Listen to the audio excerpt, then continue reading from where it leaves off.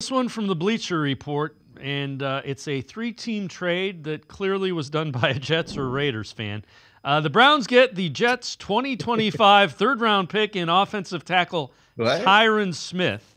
The Jets get wide receiver Davante Adams, and the Raiders get the Jets 2025 first round pick in Amari Cooper.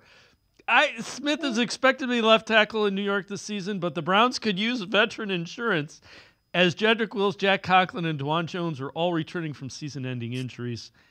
I, I don't. They got three guys that they can't figure out who they're going to start. So let's add another tackle to the mix.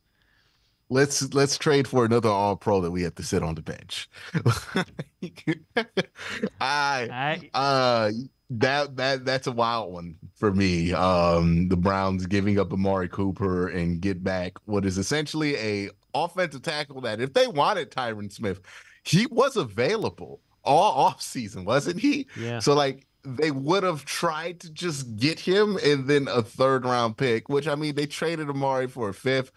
And even that one, like even if you're a Jets fan trading a third round pick for somebody who's on an expiring deal and 30, I mean that's an interesting choice.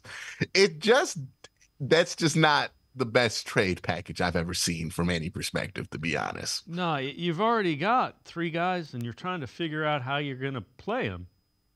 And Dave, I think we might have misidentified the culprit. It doesn't make sense for the Browns to do this. It doesn't make sense for the Raiders to do this. I mean, for the Jets to do this, but it does make sense for the Raiders to do this because they get a first round pick and Amari Cooper back.